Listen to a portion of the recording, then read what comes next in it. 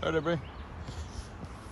Stopped raining for a little bit, so I figured I'd do a quick update on things going on here since I haven't done a video in a while. Uh, we'll go out to the this loft first.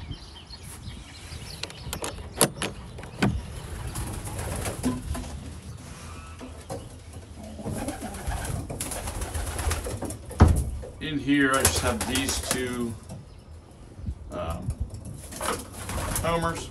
We have two babies. I have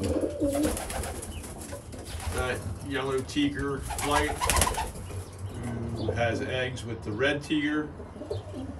And then I have that black tiger flight who is chasing around that dun tiger. So hopefully they'll have eggs soon. I can see they have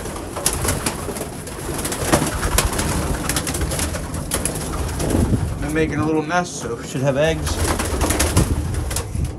That's the yellow and the red tiger eggs. And over here, we have the babies from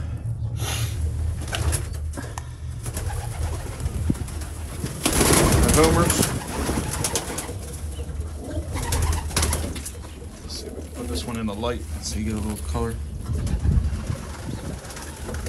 So I'm not sure what that's going to be. If that's going to be like a sooty red or what. I don't see any barring. There's that one. And then this one here. Which looks like it's going to be all white. Which I did not expect out of them, but you never know. Put them back.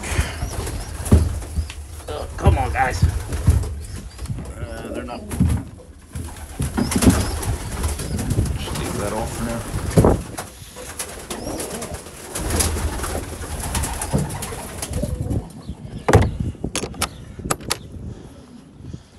So that's what's going on in there. Those homers after they uh, after they um, those babies are weaned. I'm planning on moving them in with the rest of the breeders in the main barn. Uh, a couple days ago, I cut down some trees out back. I'm gonna cut that one down that's sitting in front of the camper so they can come in. But my neighbors removed all these trees next to my loft. So now that used to be all trees that they would sit in. They couldn't approach from that side. They had to fly in from the back here.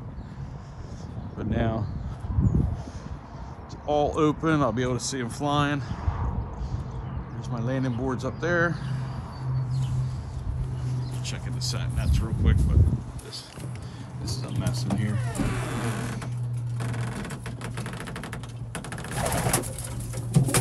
I got to clean in here.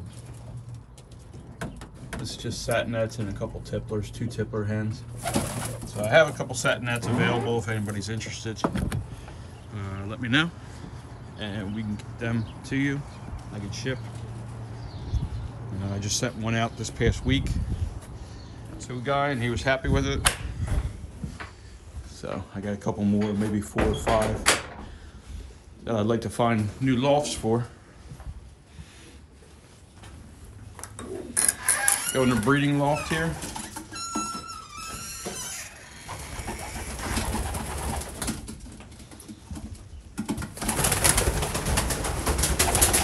Two eggs down there. I just pulled some youngers, youngsters out of there.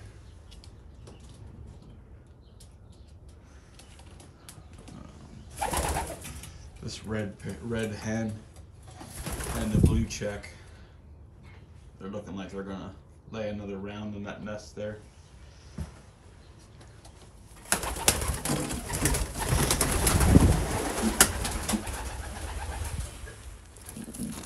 This pair here is two blue bars. They're on two eggs.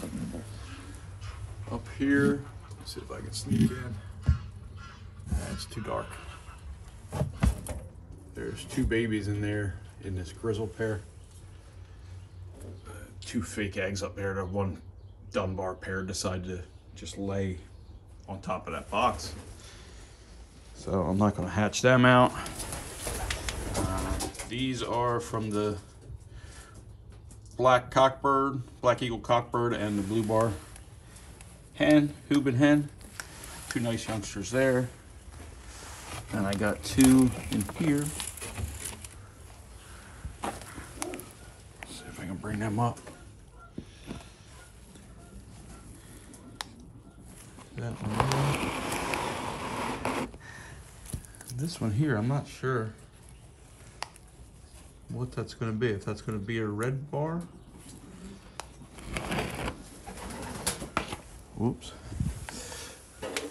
Get you guys back. So I got those two. Those two. So two up there, two eggs there, two eggs on the other side. And then with those and the birds I already have upstairs in my young bird section, I'll show you. I'm pretty much done for breeding, so I'm gonna breed a couple extra. For a friend of mine that asked me for some.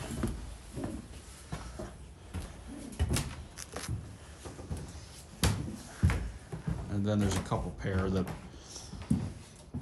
I want to get babies from. These are my uh, These are my young bird. This is my young bird team so far. I got two sections of young birds. I have this section, which is going to be for club races. There's nine in here and one old bird. These have been out like three times. Uh, so this will be for my young birds team for the races. For like club races.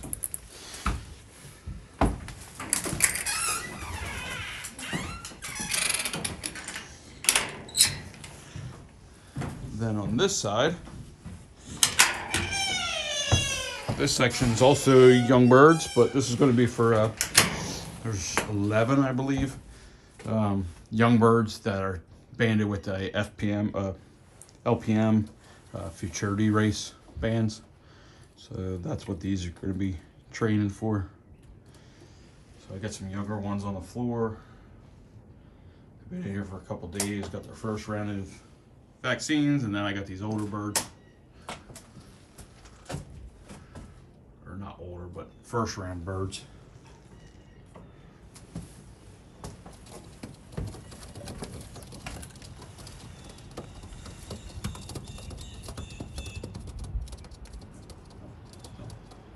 These guys haven't been out yet, but I gotta get them out soon, I think. So. That's what this section is to be.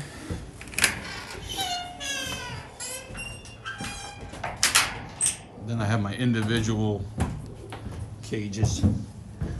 Uh, this pair here, uh, they have two eggs. I think these eggs are set to hatch on the 11th. This is uh, the red cockbird is uh, off that red head downstairs. And then that hen. Then this pair is um, new together. I just put them together a little bit ago. Um, so there's a Gannett cockbird and uh, what's her name, co-pilot from Graham put them together, see if they'll get some babies. And then down here is Gem. Gem and her cockbird, both Macalonis. Um, they're they're on one egg. They just laid yesterday, so tomorrow they'll lay the second. Uh, they've had eggs before, but they weren't fertile, so um, of course, that's the, the one pair I really was excited to get eggs from and run into problems. But uh, what I did is I got some, went to Foy's and uh, got these fertility pills, which hoping just going to jump start it. So they got those for seven days. Then I put them back together, and then I'll give them. Uh, they give them a pill a day until the second le- eggs laid, and then fingers crossed we'll have some fertile eggs. So we'll see if it actually works or not. But uh, yeah, that's what's going on here. Um, haven't done a video in a while just because it's been crazy. But uh, these guys are in hard body molt. You can see they look like they look like crap. Every day I come in here, there's looks like somebody blew up a down feather pillow. And I gotta clean it up, but that's all right. So. Hope everybody's doing well with breeding and letting out your birds for the first time. So leave a comment. Um, if you haven't already, please subscribe and follow along with my season this year. See how things go. So have a good day. Bye.